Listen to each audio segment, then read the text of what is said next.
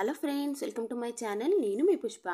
ఈరోజు వీడియోలో మరమరాలతో చాలా టేస్టీగా ఉండే స్వీట్ని ఎలా తయారు చేసుకున్నది చూపిస్తాను. ముందుగా కొత్తగా మన ఛానల్ చూస్తున్నట్టయితే వీడియో ఒక లైక్ ఇచ్చి మన ఛానల్ని సబ్స్క్రైబ్ చేసుకోండి.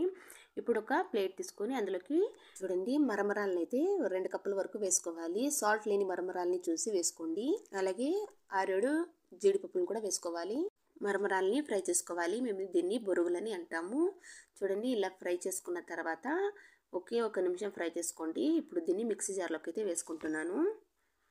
ఇలా మిక్సీ జార్లోకి వేసుకొని ఫైన్ పౌడర్ వచ్చే విధంగా అయితే మిక్సీ పట్టుకోవాలి.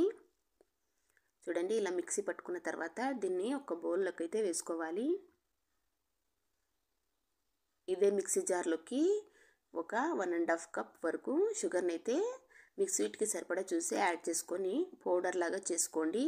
ఇప్పుడు మరమరాల పౌడర్ అలాగే షుగర్ పౌడర్ని కూడా వేసుకొని ఒక నాలుగైదు టేబుల్ స్పూన్ల వరకు నెయ్యిని అయితే వేడి చేసుకొని వేసుకోవాలి.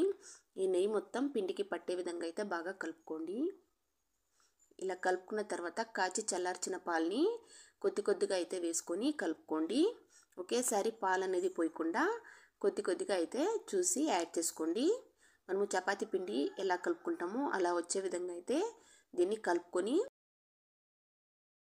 చూడండి ఇలాంటి బాక్స్ ఏదైనా తీసుకొని దానికి నెయ్యిని అయితే అప్లై చేసుకోవాలి. చూడండి ఇలా నెయ్యిని అప్లై చేసిన తర్వాత మనం ముందుగా కలిపి పెట్టుకున్న పిండిని అయితే చూడండి ఇలా బాక్స్లోకి వేసుకొని సమానంగా అయితే స్ప్రెడ్ చేసుకోండి. చూడండి ఇలా చేసుకున్న తర్వాత ఒక టెన్ మినిట్స్ దీన్ని అలాగే వదిలేయాలి. టెన్ మినిట్స్ తర్వాత చూడండి దీన్ని డిమోల్డ్ చేసి చూపిస్తున్నాను. చూడండి మనకి చాలా ఈజీగా అయితే ఊడిపోయింది. దీన్ని ఇప్పుడు మనకి నచ్చిన షేప్స్ అయితే కట్ చేసుకోవాలి.